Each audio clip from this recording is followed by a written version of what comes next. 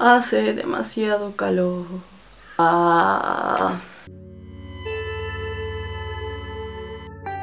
Hola ninfas, ¿cómo están? Espero que se encuentren muy muy bien. Mi nombre es Selene y sean bienvenidos una vez más a mi canal. Ya tengo intro. He improvisado este asunto. Ya tenemos una intro. Díganme si les gusta o no, dándole manita arriba al video y dejándomelo abajo en los comentarios. Por Twitter la semana pasada acerca de qué video era el que querían ver, si querían ver un tutorial, cómo me retocaba el cabello o una batalla de cushions y votaron por la batalla de las cushions. Entonces, eh, hoy les traigo precisamente eso. Hoy vamos a comprar la Any Cushion de Etude House con la M Magic Cushion de Misha, que son las únicas cushions que tengo hashtag maldita pobreza. En fin, si ustedes quieren saber cuál es mi preferida, cómo se aplican, sus diferencias, sus similitudes, bla bla bla bla bla, pues quédense viendo el video. Cushions hacen cosas distintas. Em, les voy a explicar más o menos qué es esta.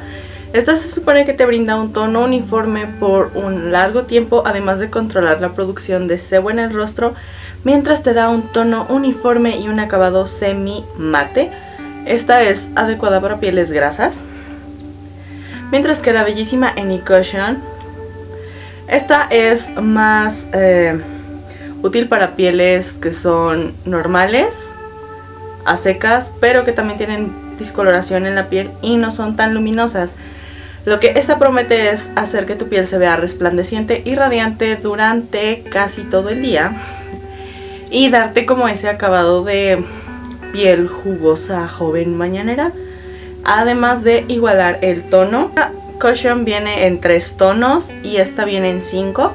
En esta yo soy el tono número bueno aquí dice 27 pero en realidad soy el tono número 23 solo que esta me la compré cuando acababa de broncearme. No lo hagan. Y este es el tono sand. Y bueno pues vamos a comenzar con esta que es la más antiguita que tengo como pueden ver el empaque es distinto. Hasta en portabilidad. Pero bueno, eso no es lo que vamos a medir. Vamos a medir el acabado. Traen su espejo los dos. Y... Ah, esta está nueva. Estoy usando el repuesto. Qué nervios. Nuevo.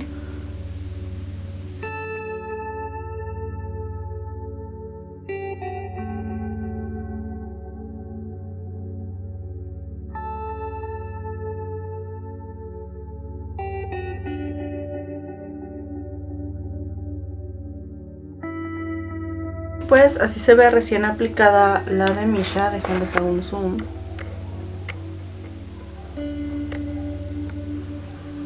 Ahí está. Como pueden ver tiene una muy muy buena cobertura y no enfatiza tanto mis poritos ni la textura de mi piel. Vamos con esta, la Any Cushion. Esta sí está más mugrosa,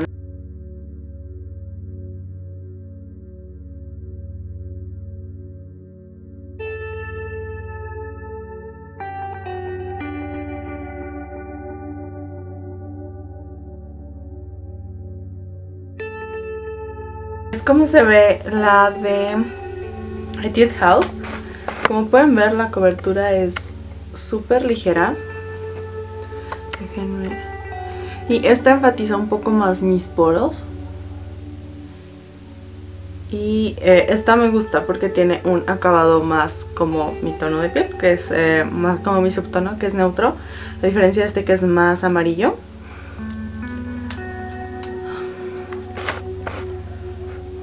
Ahora, lo que puedo notar de similar en las dos es que ambas unifican el tono súper bien y que secan bastante rápido, no se sienten pegajosas.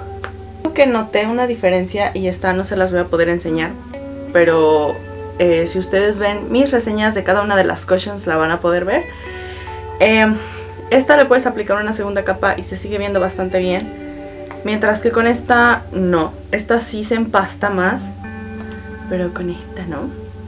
Y bueno, pues voy a hacerme el resto de mi maquillaje que es súper relax y regreso con ustedes para que vean también cómo se distribuyen los polvos encima de cada una de ellas. Chicas, así es ya como se ve con el maquillaje terminado y ya que ha pasado un tiempo considerable para que se oxiden. En cámara sí se nota muchísimo la línea, en, persona también. Um, yo creo sobre todo porque este es un subtono más neutro y este es un subtono más amarillo. Así que creo que este le queda mejor a las pieles latinas. Eh, que no sean yo. Y bueno, así es como se ve. Como pueden ver, los polvos se aplican bastante bien. Pero creo que se aplican mejor en esta que en esta. Como pueden ver, aquí hay un manchón. Medio raro. Y ya, sellé las dos con polvo y creo que se ven bastante naturales. O sea, no se empastan los polvos como lo harían con otras... Eh, bases o cushions. ¿Cuál es la que yo prefiero?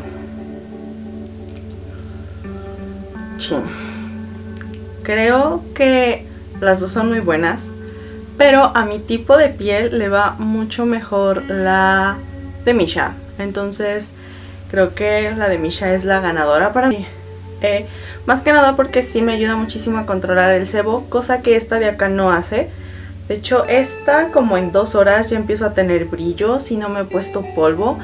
Y esta puedo incluso no ponerle polvo y me dura bastante bien.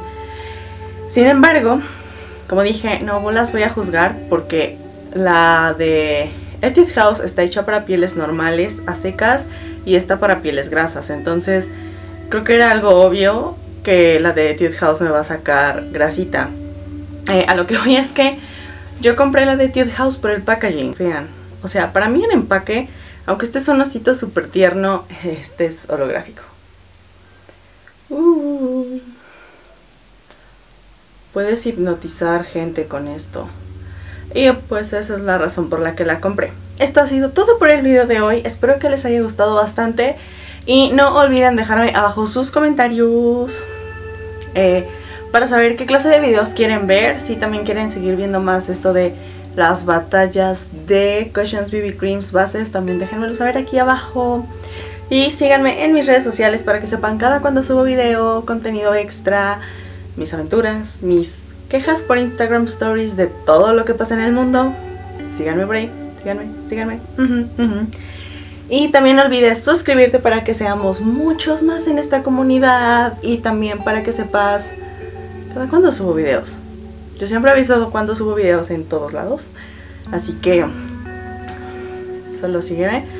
Ah, pues sí, espero tengan una excelente semana, ninfas. Bye. No sé si notaron, pero hoy no estoy tan despeinada. La la la la.